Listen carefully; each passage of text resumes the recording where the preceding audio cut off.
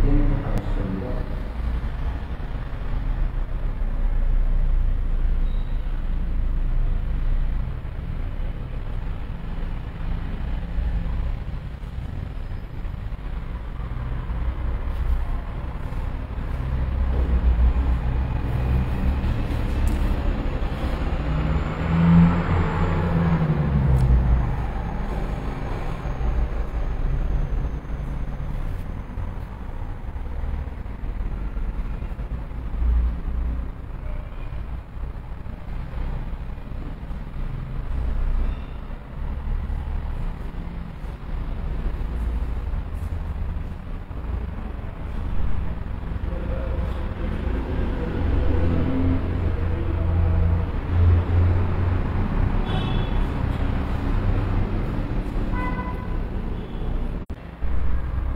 من جديد أجدد الترحاب بكل السادة مشاهدينا الكرام بكل متابعينا الأوفياء والأعزاء. أينما كنتم في كل مكان مباشرة من مدينة الفقيه بن صالح.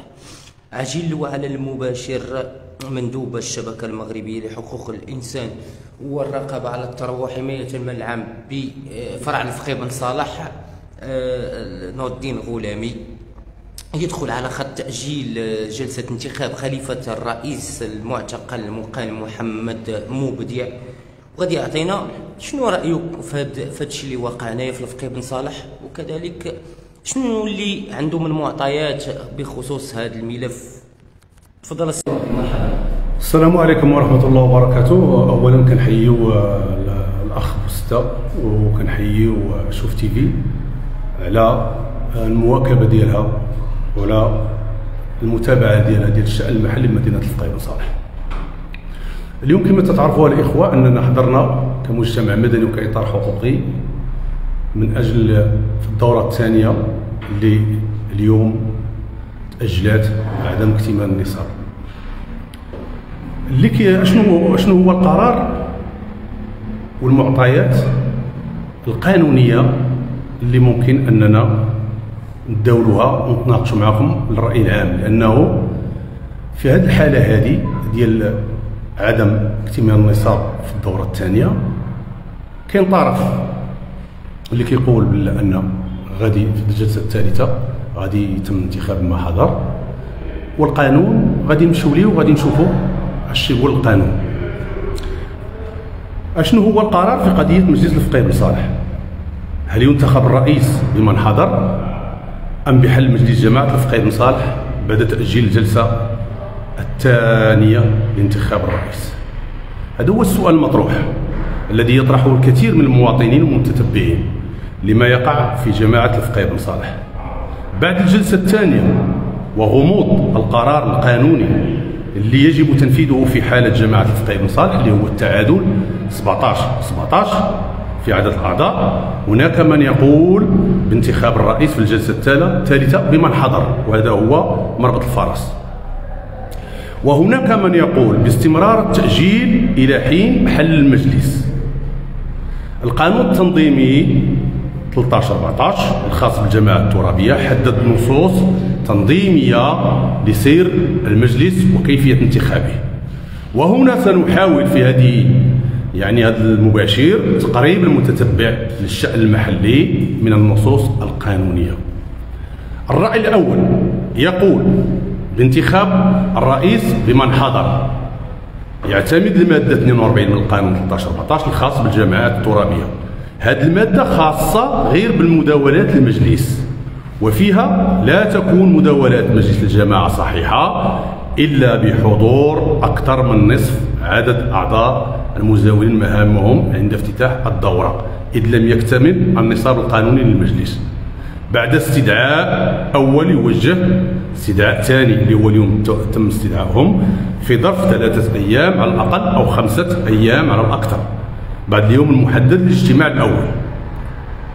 وبعد التداول الصحيح بحضور أكثر من نصف عدد الأعضاء المزاولين مهامهم عند افتتاح الدورة إذ لم في الاجتماع الثاني إذ لم يكمل في الاجتماع الثاني النصاب القانوني اللي هو اليوم المشار عليه اللي هو هذا هو الموضوع ديالنا.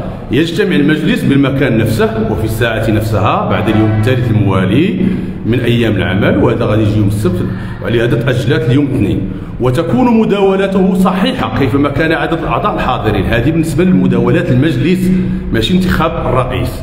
هذه المادة التي يعتمد منها من من يقول بانتخاب الرئيس في الجلسة الثالثة بمن حضر خاصة بمداولات المجلس. القانون واضح. يعني أن انتخاب الرئيس في الجلسة الثالثة بمن حضر هذه غير هذا هذا لا يجوز. الثالثة بمن حضر خاصة بمدورة المجلس. وليس انتخاب الرئيس وأجهزة المجلس من مكتب ونواب وكاتب ونائب ورؤساء اللجان ونوابهم. الرأي الثاني للرأي العام.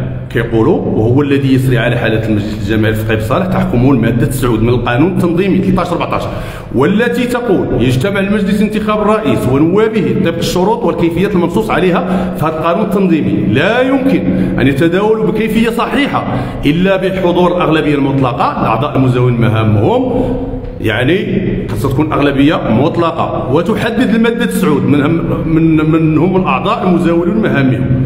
المادة واضحة وتؤكد أن عملية انتخاب الرئيس ونوابه لا يمكن أن تكون صحيحة إلا بحضور الاغلبيه المطلقة للأعضاء. وهذا ما عندناش في هذه الحالة. وسكت القانون عن تحديد الحل للمأزق القانوني في حالة عدم اكتمال النصاب. لن نخوض في المادة 13 من نفس القانون لأن شرط انعقاد الجلسة هو حضور الأغلبية المطلقة للأعضاء. إحنا ما عندناش.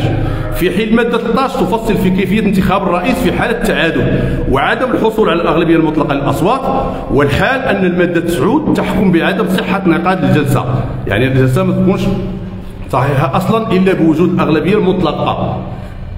السكوت القانوني لا بد له من تفسير ومخرج وقد تلجأ السلطة المحلية للمادة 72 من القانون التي تقول إذا كانت مصالح الجماعة مهددة للأسباب تمس بحسن سير مجلس الجماعة اللي هو الآن كنشوفوه أن أن المواطنين المصالح ديالهم واقفة. جاز لعامل العمالة أو الإقليم إحالة الأمر على المحكمة الإدارية من أجل حل المجلس ويمكن تفسير عدم اكتمال النصاب بتهديد مصالح الجماعة والمس بحسن سير المجلس. وهو القرار الأقرب للقانون في حالة جماعة الفقيه بن صالح حسب القانون وحسب المخبرين القانونيين والأطر رجال القانون والتي نبهت لقصور قانوني في القانون التنظيمي 13 14 لا بد من أن يتم تداركه في المستقبل يعني بتعديل القانون لضمان استمرار المرفق العمومي وهنا كيقولوا بلا أن هذا القانون لازم يتعدل 13 14 باش ما تبقاش يعني المصالح ديال المواطنين واقفة وما نطيحوش في المشكل اللي طاحوا فيه اليوم في عدة جماعات في المغرب. هذا الرأي موضوع إسنادا على القانون التنظيمي للجماعات. ولهذا إحنا كنوجهوا رسالة للرأي العام أن ما يتداوله الطرف الأول من أن انتخاب الرئيس في الجلسة الثالثة اللي غادي تكون بما حضر أن القانون لا يسمح.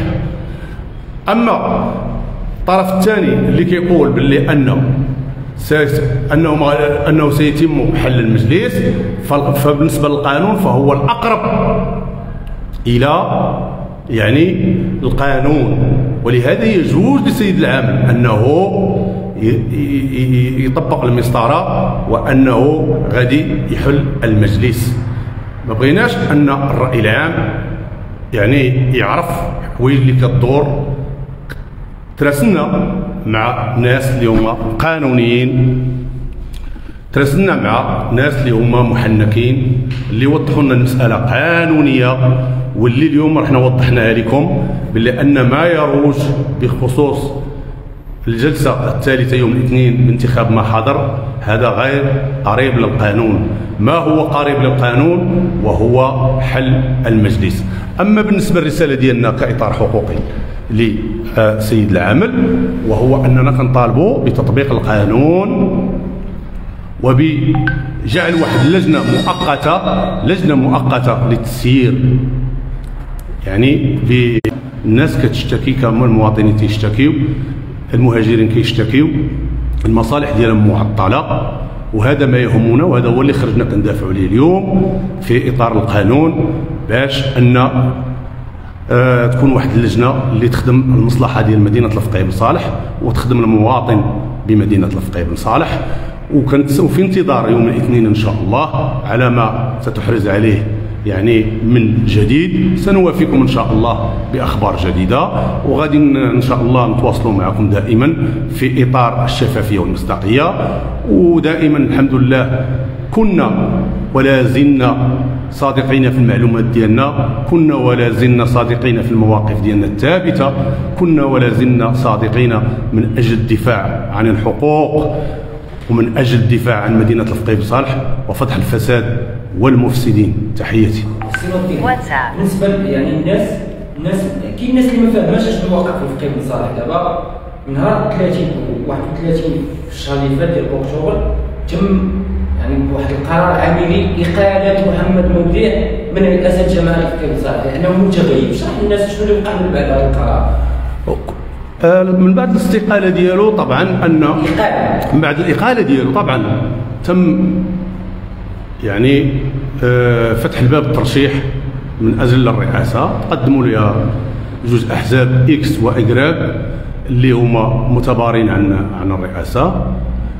آه، مشاو في الاتجاه ديال أنهم أنهم يعني ينتخبوا رئيس. الأعضاء اللي مشاو عند ال ex والمستشارين والمستشارات اللي مشاو عند ايكراد حنا طالبين جميع الأحزاب اللي كيترأسوا هاد الحزبين وهاد المرشحين للرئاسة من أجل المصلحة العامة لأن المدينة تحتاج إلى يعني آه واحد المجلس اللي يكون المكتب اللي يكون قوي.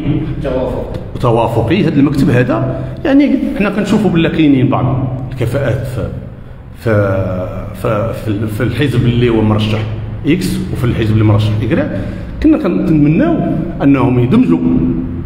هذه الكفاءات وأنهم يتنازلوا عن عن المسائل اللي هي شخصية والانا وأنهم يقدموا المدينة الفقيه بصالح على الأقل يخدموا الصالح. العام. لكن للأسف الشديد أننا كنشوفوا باللي أن آه، كل واحد متشبت بالرأي ديالو وهذا ما أسفرت عليه هذه الجلسات وهذه الجلسات. تحياتي. فاش مشينا فاش مشاو بعد الدعوة للترشح الناس جوج الناس قدموا الترشح ديالهم آه، رسميا. آه، من بعد مشى المجلس الجلسه الأولى الجمعة الماضية الانتخاب الرئيس. شنو اللي وقع في الجلسة الماضية ديال يوم الجمعة؟ أنا ما حضرتش في الجلسة الماضية ولكن كل اللي كيتداول ان أنه ما, ما تمش الحضور ديال حزب إكس. جا الحزب إدراك دخل ولكن ما تم ما قدرش يستطيع أنه يكون عنده الأغلبية باش ممكن أن يتم النصاب؟ 17 واحد. 17 واحد. إذا هنا غنرجعوا جماعة الفقه شحال فيها من من شحال فيها من كرسي؟ فيها آه 35 35 واحد متغيب 34 34 34 اذا إلى جاو 17 17 اخرين ثابت هذا ما يتداول. هذا ما يتداول. ملي جاو 17 ما يمكنش ينتخبوا 17 لا لأنه ما عندهمش القانون ما يسمح لهمش لأن ما عندهمش الأغلبية المطلقة. ما عندهمش النصاب. النصاب خاصهم على الأقل 17 زائد 1 18 وهذا اللي يجعل السلطات أنها كتأجل تتأجل اليوم. واليوم كذلك ما تمش النصاب للحزب إيكغيك أنه يستطيع أنه يكون المكتب. لأنه 17 ولا 17 17 17 يعني جات غير 17 عاوتاني اليوم جاوبت غير سبعه آه. يعني لم يكتمل النصاب. لم يكتمل النصاب. مشينا لجلسة أخرى غتقام يوم الاثنين. يوم الاثنين. غادي تقام. كمواطنين كفاعلين حقوقيين كجمعويين كأبناء بني عمير بن شكدان الفقيه بن صالح واش كتشوفوا بأنه المصالح ديال الناس كتقدر؟ هذا هو هذا هو مربط الفرس. حنا فاش خرجنا اليوم حضرنا المشاريع اللي متوقفة ويشوفوا هذا التهميش اللي كاين ويشوفوا هذه التنمية وكنطالبوا بالبحث في المشاريع المتوقفة وكنطالبوا آه، بتنمية المدينة تنطالبوا باش يفكوا الحصار على على الأسواق النموذجية. يعني الساكنات في الحالة اللي هي مهمشة كنشوفوا تتزيد غير التهميش وكيزيد غير عقاد في عقاد. بسبب من؟ بسبب هذه النخب السياسية. حنا كنلومهم بجوج ما كنلوموش غير واحد.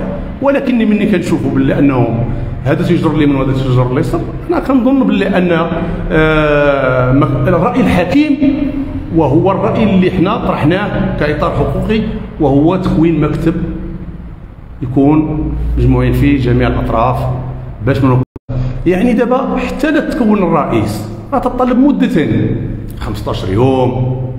يعني هذه المصالح لسه معطلة ولهذا حنايا راسلنا السيد العامل وكنقولوا له باللي أننا كنطالبوا استعجاليا أنه تكون واحد اللجنة باش هاد المواطنين هادو يستافدوا من الخدمات ديال الجماعة في حين أننا دابا كنشوفوا كما كما شفتي الأخ بوستا أنه كانوا مهاجرين واقفين كانوا ناس واقفين تما باغيين المصالح ديالهم واقفين معطل تماك. وهذا هذه هذا لا يليق ب ب راك راك كنتو شتي الناس اللي تكلمتي معاهم شحال من واحد جا قال لك أنا باغي نبيع محتاج كاين اللي واقف على هذا. كاين الجاليه اللي باغي ورقة يصيفطها يعني بزاف ديال الإخوان اللي كانوا تما اللي هما كيقول لك أودي حنا يعني هذا الشيء اللي كيوقع تيستنكروه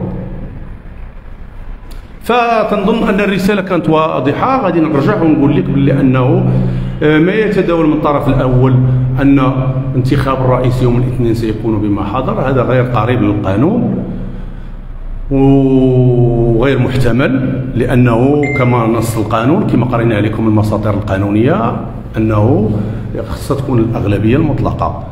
هذه في حاله انتخاب الرئيس. أما بخصوص بما حضر فهذه بالنسبة للمداولات ديال المجلس.